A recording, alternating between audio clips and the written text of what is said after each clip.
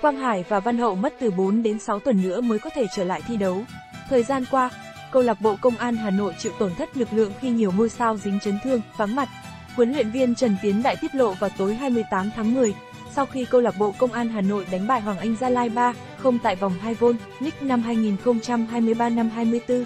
Đây rõ ràng là tin kém vui không chỉ với nhà đương kim vô địch V-League mà còn ảnh hưởng không nhỏ tới chiến dịch vòng loại World Cup 2026 của đội tuyển Việt Nam.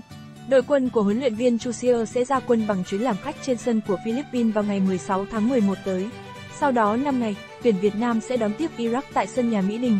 Với thể trạng hiện tại, cả Quang Hải và Văn Hậu đều khó lòng kịp bình phục để tham dự hai trận đấu sắp tới của đội tuyển Việt Nam. Quang Hải đang phải trải qua những ngày tháng khó khăn trong sự nghiệp.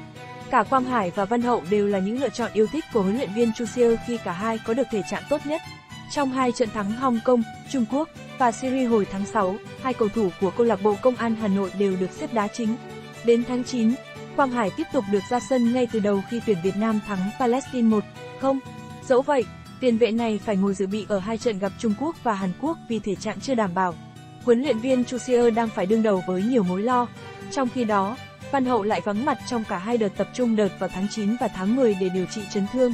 Điều này khiến huấn luyện viên Chu Siêu phải luân phiên thử nghiệm các lựa chọn mới cho phương án hậu vệ trái. Ở trận gặp Palestine, ông xếp Việt Hưng rồi tiến anh đá ở vị trí này. Sau đó đến đợt hội quân ở tháng 10, Việt Hưng và Minh Trọng là những cái tên được sử dụng khi tuyển Việt Nam đấu Trung Quốc và Hàn Quốc. Sự vắng mặt của Văn Hậu khiến huấn luyện viên Chu Siêu phải cân nhắc những phương án mới, nhưng màn trình diễn của các nhân tố này có đủ khiến ông hài lòng hay không thì Nội dung bài viết đã được biên tập lại.